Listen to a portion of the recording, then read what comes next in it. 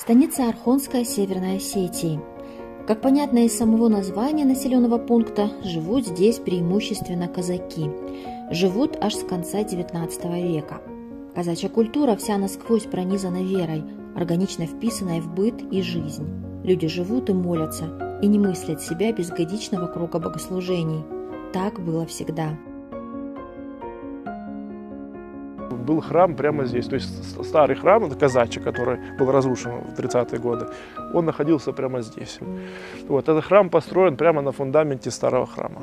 Уже в 47 году, получается, после войны, когда была э, оттепель да, в отношении православной веры вот, э, со стороны государственной власти, вот, вот на той улице Казбекской, там улица есть, вот, там, значит, э, выкупили дом, его полностью перестроили, уже как бы сделали не чей-то дом, как бы, а вот церковный дом сделали, да. К тому времени храм был разрушен, вот, и там сделали молитвенный дом, как бы, тоже Александра Невского, вот, и там совершали службы до 18 года.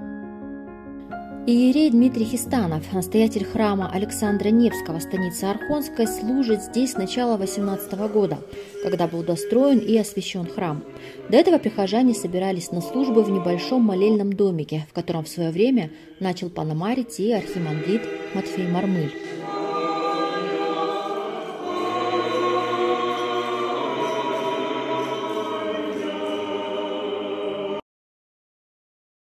Отец Дмитрий знает каждого прихожанина по имени, знает об их бедах и радостях.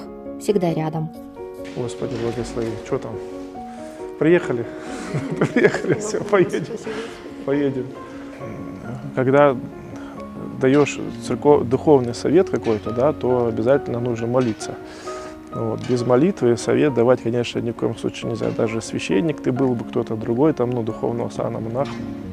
Вот потому что нужно обязательно как бы спрашивать у Господа совета, благословения, чтобы Он тебя наставил, потому что бывает э, как бы после такой молитвы прямо приходят какие-то добрые мысли, и то, что ты не ожидал даже от себя. То есть Господь внушает, что именно сказать человеку.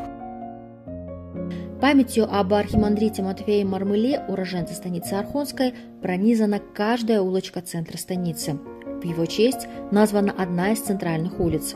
Здесь он родился, вырос, здесь понял, что посвятит свою жизнь служению. Его помнят и почитают, молятся за него каждый день.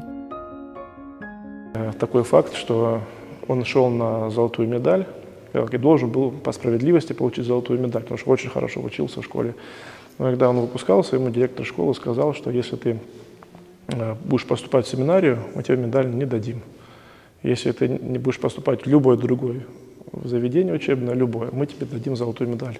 На что отец Матфей сказал, что я буду поступать в семинарию, ваша медаль мне не нужна. Он чуть старше на два года от меня. Как он был, как все, как его годы, как он молитвенник. У нас храм этот был разрушенный. Это наши рабы Божьи, матеря наши, бабушки, стремились прийти в храм помолиться – и одна вдова в нас, Дробнич Мария Алексеевна, она приняла на улице Ленина дом, отдала под храм. И вот это сколько лет уже был храм там, все приходили, молились. И отец Матвей, как он с детства там был, и все, э, на послушание. Первый раз мы к батюшке попали просто посмотреть э, Сергею Лавру, Сергею Посад. Ну, как бы Господь сподобил увидеть батюшку э, Леонтьевна, мать Сергея. Матвей, отца Матвея, сказала, что будет торжество. И мы как бы попали на это торжество. Было много священников, был владыка, и батюшка нас как бы завел туда, и мы такую благодать получили. Владыка нас благословил, и такая радость была. И как бы я собиралась домой уже ехать, я как не воцеркленная была. Батюшка сказал, сказал, нет, видение Пресвятой Богородицы вы должны обязательно побыть. И мы остались там, и э, видели, как отец родной, батюшка нас и встретил, и провожал, и это самое. И даже в дорогу нам дал там помидорчики, все это самое, чтобы как, как бы этот помидорчик съев, мы всю дорогу были сыты. Да, и, и, потом уже неоднократно мы к нему ездили, очень часто, по благословению батюшки. Ну дай, Господи, нам, чтобы храм сейчас и шел на радость, чтобы наши внуки, правнуки все молились, призывали Господа Бога на помощь.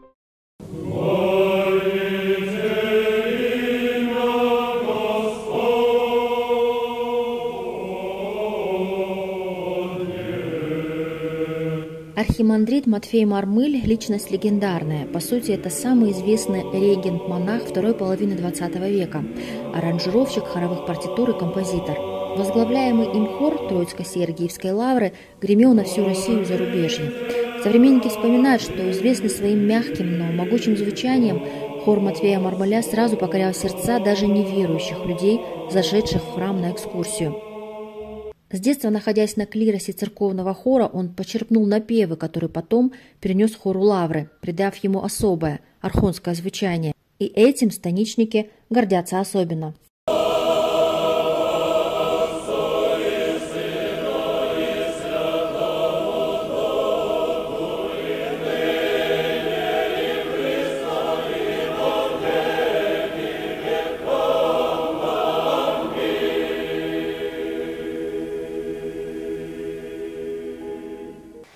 Мы с ним ездили э, по многим местам, э, были на Святой Земле.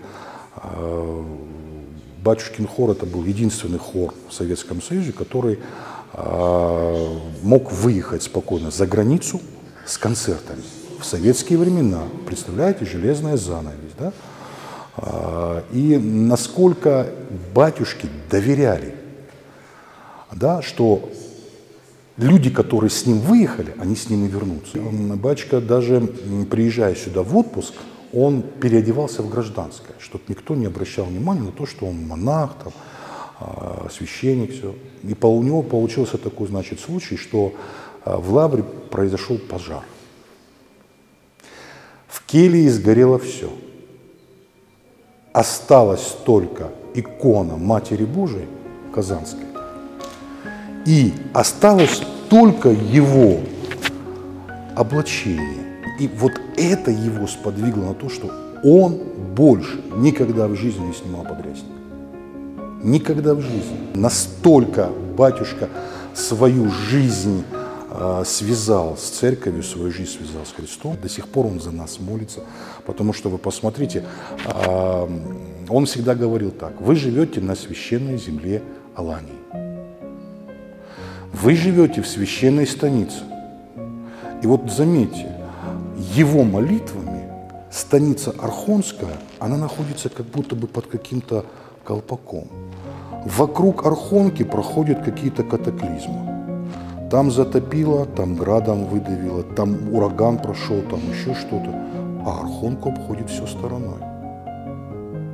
Я думаю, что это молитвами и батюшки молитвами старцев, которые здесь были, да, а, молитвами тех монахов, которые открывали здесь храмы после разорения. А, пускай Господь упокоит все их души. Да, и молитвами нынешних священнослужителей и за нас, и за всю нашу священную землю, чтобы она сохранила веру православия.